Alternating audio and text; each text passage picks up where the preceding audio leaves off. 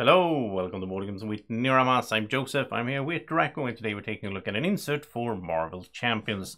This one is from Folded Space, and we are going to dive into the box here and take a look at it. So we have some rulebooks, and then we go straight into the insert part. So in this one here, it's mainly a, you know, holding cards insert. We have all these here. Now I haven't sleeved my cards yet. There's a bunch of them, and I haven't played the game yet. So before I do that, I'm going to do it soon. I'm going to do a uh, solo playthrough and so on. But before I do it, I don't want to decide if I want to, you know, sleeve all these cards or not. We have a nice little, you know, as you can see, there's a lot of room in here, so it's not going to be an issue to fit the cards even with sleeves.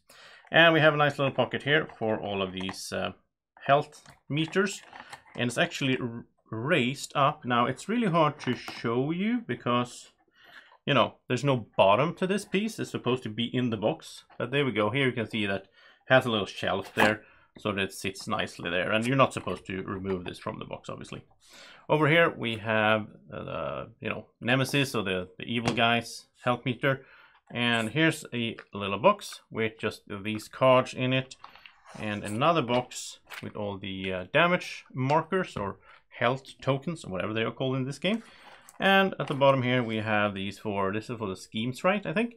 And whatever these tokens are for, I don't know. But it fits nicely in here and it looks nice. And I really like that they are so lightweight, these folded space pieces.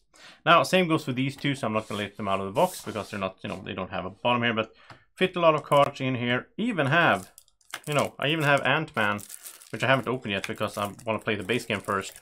But I could fit Ant-Man in there. And I also have this one here for Captain America.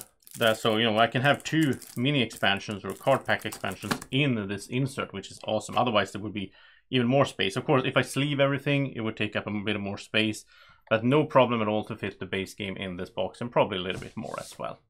So that is the insert for Marvel Champions. I really like it. I think it really serves its purpose. And of course, in this kind of game, there's no point in lifting these up anyway, so I don't mind that they don't have a bottom on these parts here.